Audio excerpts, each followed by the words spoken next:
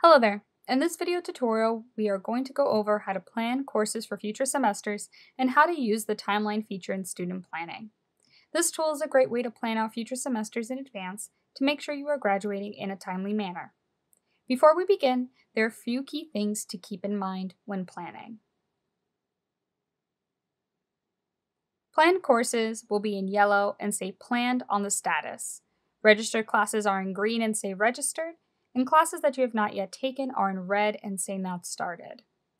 Just because a course is planned does not guarantee that it would be offered during the semester you planned it. And finally, deadlines for registration, adding and dropping classes, and withdrawing remain the same when using student planning. You can view the academic calendar for these deadlines at myhudson.hccc.edu backslash bursar. I will be your example student for today, so of course my setup may look a little different than yours.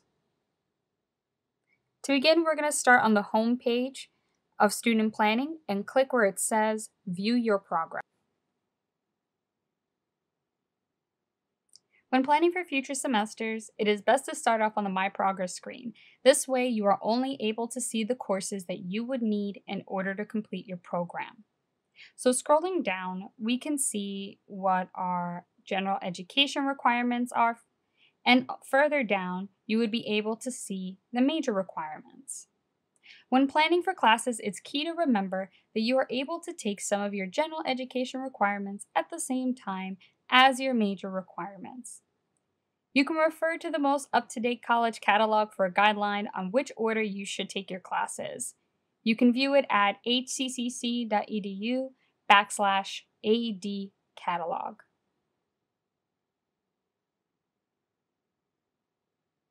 So for this example, let's say I wanted to plan classes that I'm going to take for next semester and the semester after that.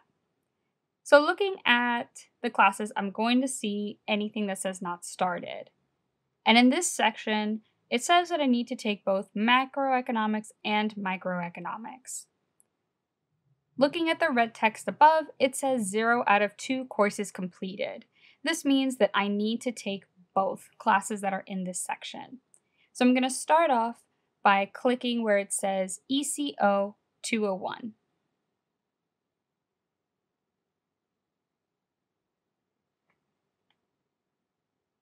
After clicking on the class, I am going to see the description of the course and if there are any requisites. The requisites section will tell me what classes I would need to take either before or at the same time as the one I am selecting. Seeing that I meet the requirements, I'm going to go ahead and click where it says Add Course to Plan.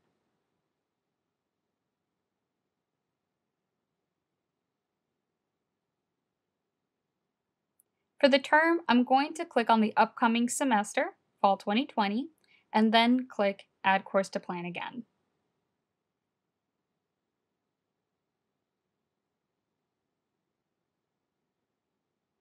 This is a lot like when you're shopping online. The My Progress screen is the browsing section, and your timeline is your wish list. So now that I've already planned one class, I'm going to click where it says Back to My Progress.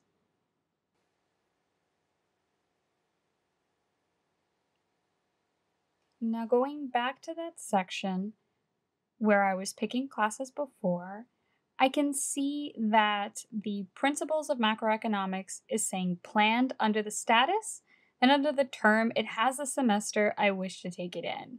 Remember, just because the class is planned does not mean that it is registered. So now I'm going to click on the course code ECO202 to plan principles of microeconomics.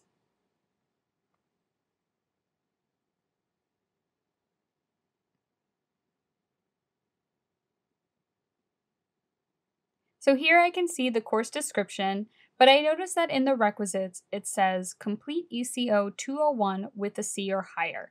Must be completed prior to taking this course. This means I cannot take microeconomics without taking macroeconomics first. I cannot take it the next semester, but I will plan it for the semester afterwards. So then I will add it to my course plan, but it would be for spring 2021 instead of fall 2020. So I'm going to click Add Courses to Plan, select the term, Spring 2021, and then click Add Course to Plan again.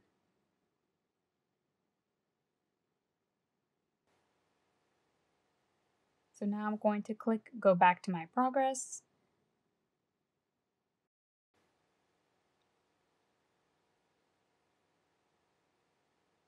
And then scrolling down to the section, I can see that both of them are planned and what terms I have them planned for. So now looking at my math requirements, I see that I have two classes listed, pre-calculus and pre-calculus for business. So reading on the top, it says that I only need one. Depending on your program, you may see a long list of classes, but you would only need to take a few. Reading the red text on the top will tell you how many of these classes you would need to take.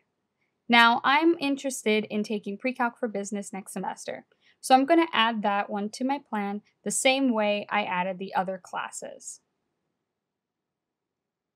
So I'll click on the course code.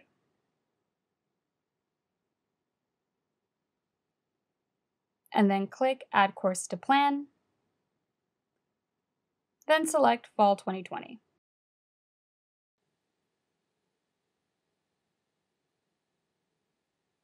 Now I'm going to click where it says Back to my progress. So depending on your program, you may see a section that is blank. For example, in my program, the lab science elective does not have any classes listed. This is because there are multiple classes that would satisfy that requirement. So reading the red text on the top, it says that I only need to pick one class. So to see what the classes would be, you're going to click where it says search.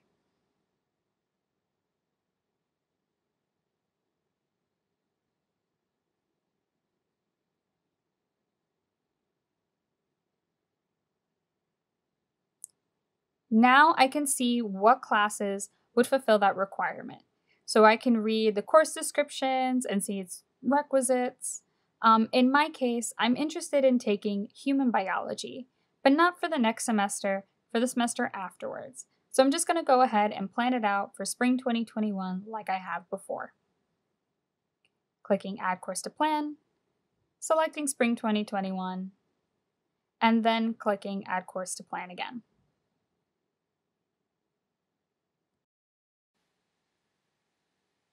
So now going back to my progress, I can see that that section is no longer blank, but is now filled with the classes that I have planned. So another thing to keep in mind is that if you notice on the top, it says that you need to take more than one course in that section, you would need to go and hit search to find the other classes. But for now, this one will do. Now that my classes are planned, I'm able to see them in the plan and schedule screen and on my timeline. So scrolling up to where it says student planning, I'm going to click on plan and schedule.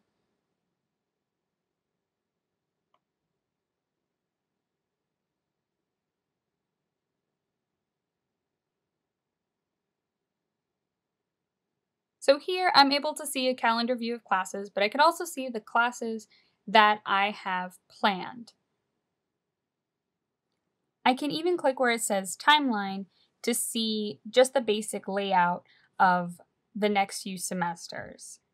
So your timeline acts as your wish list when you're shopping online. It's not the items that you have purchased, but the ones that you want to purchase.